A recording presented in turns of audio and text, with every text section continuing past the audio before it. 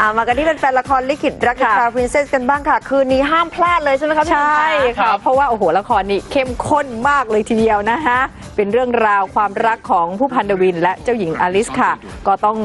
เออเสด็จกลับฮรีซอร์สแล้วนะและต้องเลือกกันแล้วล่ะค่ะระหว่างหน้าที่กับหัวใจนี่ถือว่าเป็นธีมหลักของละครเรื่องนี้เลยนะคะแล้วก็เป็นการเปิดเผยปมสำคัญของเรื่องว่า ใครเป็นผู้ที่อยู่เบื้องหลังแผนการครั้งนี้ที่รอบทำร้ายเจ้าหญิงนะคะ ไปฟังพระนางพูดกันเลยค่ะจะบอกหรือเปล่านะคะโดยที่ไม่มีหัว ก็มาถึงตอนที่แบบว่าเอ่อเจ้าหญิงเนี่ยต้องเสด็จกลับฮาริซอสนะครับผมแล้วก็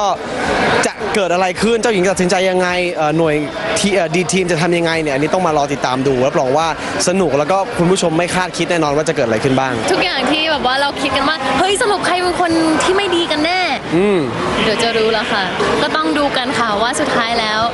นาทีหรือหัวใจ มันไปด้วยกันไม่ได้ไม่ได้ก็ไม่รู้ต้องไปดูเอาค่ะ